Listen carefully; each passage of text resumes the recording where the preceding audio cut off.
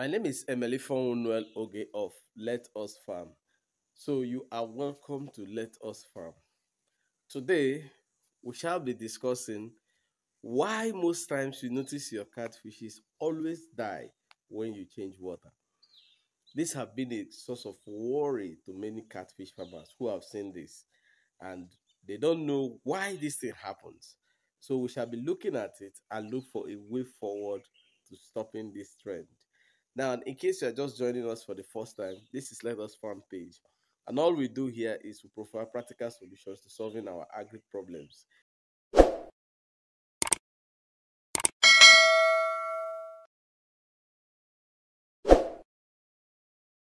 If you must call me for any situation, please do that on WhatsApp. I will surely answer the call. Then, if you have any message to pass across, you can also send a message to the WhatsApp or drop it in the comment section below. Please, I don't like people calling on the landline. I may not pick your call, and I don't want to do that. I have many calls on that line.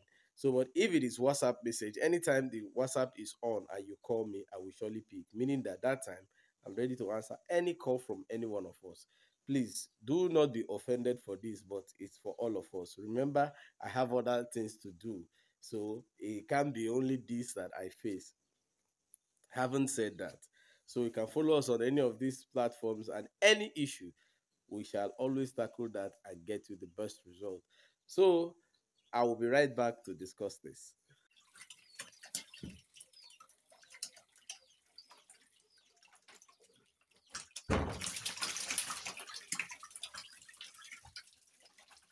Welcome back.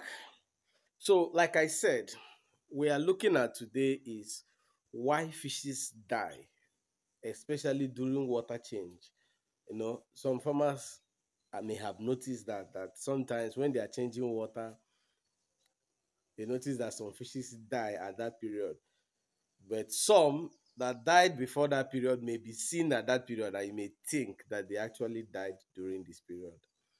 And in the other way around, some actually die during the period of water change.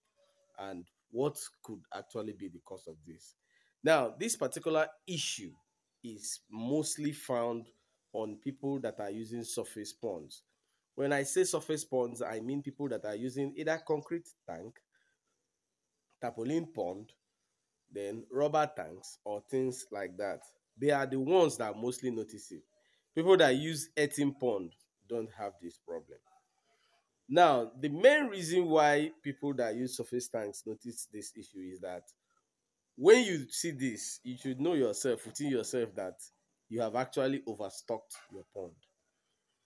You know, sometimes when I say things, many people actually doubt it. Why they doubt it is that they have a convention in their mind that what they are always doing is right. So when they now get a contradictory notion to that, they start to doubt. But in reality, when you doubt and you don't have a solution, you discover that your doubt is not really doesn't really make any sense. you can only excuse me, you can only doubt something when you have a counter solution to that. And that counter solution is actually working. But when it doesn't work and you still want to doubt, I don't think that it makes any sense. So now most people that I've talked to, whenever I tell them that you see they overstock their pond, they bring one funny argument that this is what the pond sellers told me, uh, this is what uh, I was told. But in reality, you don't expect somebody selling something to demarket himself. And like I always say, people that sell tarpaulin pond, look, they are business people. They can't actually want to tell you exactly the, the, the, the, the quantity that a pond may take. The reason why some of them do it is that when they tell you the actual measurement, you may not be able to afford and you will not want to buy. And sometimes why they say it is that they are ignorant. Most of them are not fish farmers. This is what they were told. In fact, some of them actually learn the act of making pond from another pond seller. And those pond sellers, most of them has have never ever reared fish with the pond they sell. So all they can guarantee is that look, this pond will not leak. Leakage, they guarantee that. But even at the guarantee, sometimes there may be one or two errors and it leaks. so the reason why I'm saying this is that some of us when we bring all these arguments, it's very funny that you start arguing with somebody that is not even practicing it, but is selling it. It, it doesn't make any logical sense. So this is the situation. If you notice it in your earthen pond, that could be another issue. It is not because of the water discharge. And I have seen many people on earthen pond, that issue never happens. And the reason is that, you see, the earthen pond has mud. So when you are changing pond and you overstock, what happens is that most of your fishes will go under the mud. Then few will be up. So with this, they have like an additional layer of protection that will not make them to have friction. But now, when you are using a tarpaulin pond or an earthen pond, because you overstocked, when you are changing water, all of them will muzzle up together. And when they muzzle up together, this is what results in the death that you may have noticed. It's a simple thing that many people will not want to believe it. So that is the main situation. So people don't want to believe it, but that's a fact. So because they don't have any other layer that they could actually hide on, you remember as water is going down, the fishes become surprised that, oh, where we are staying, all of a sudden, what used to be comfort to us is going down. So when this thing happens, when there is this element of surprise, you discover that most of the fishes start running up and down. So they start swimming, following where the water is going. That's why when there is flood or any issue, you discover that the fishes will always go with the water current. So when you are changing water, they are surprised. They want to follow the water current to make sure that they don't they are not left dry. Now, in that process of following that water movement, what happens is that most of them will now packed together.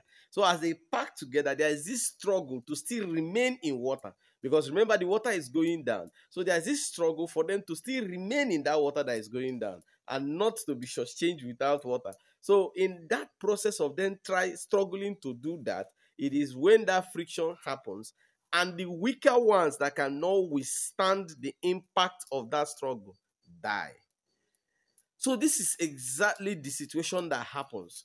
It's not as if maybe there is any other magic. No. But in a pond where you have the normal spacing, when that issue happens, all of them have places to stay.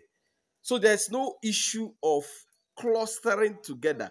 Imagine a pond that is supposed to take uh, 100 uh, fishes. You now put 400. So you have overshoot by extra 300. So when that issue happens now, they start to pack themselves. So in that process of packing themselves, you have stampede. And some of them that cannot withstand that, they will die. It's the same thing that happens when you hear that there's stampede and people die. It's the same thing. So, but in this situation, is that there is all about survival. So those ones that cannot be able to withstand the impact of that packing, that stampede, you now see them dead and they float. So this is just a simple situation. And now the solution to this is make sure you don't overstock. But there, there are instances that farmers find themselves in this situation. Now they don't have alternative pond.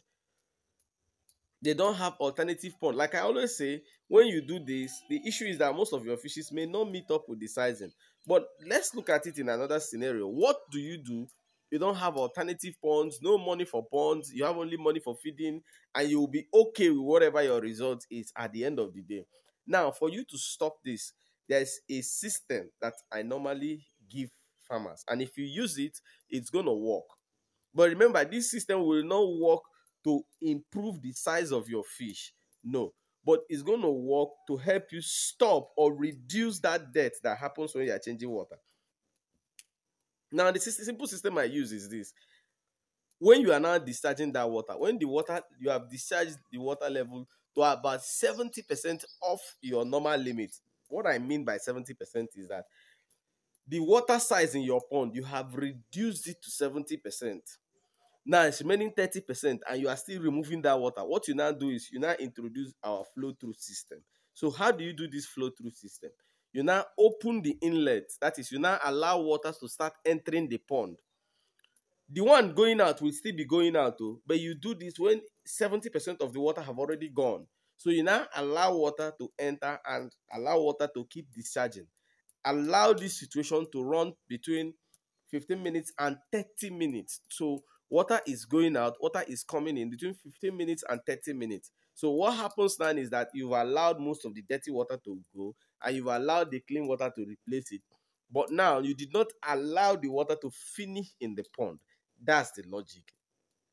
So after like that 30 minutes, what you do, you now lock your discharge and now put your normal water to the level.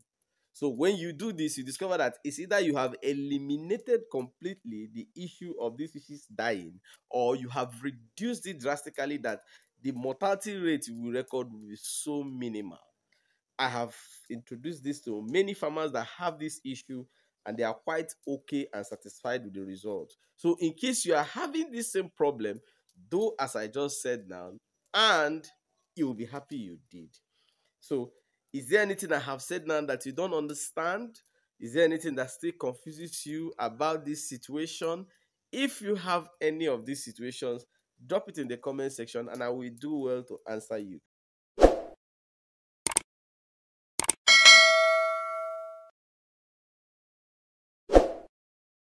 If anybody contacts you for any WhatsApp group, kindly remember we are not forming any WhatsApp group on Let Us Farm. Anything we want to discuss, we'll discuss it here. So until I come your way next time, I remain yours, Noel Oge Emelifon of Let Us Farm.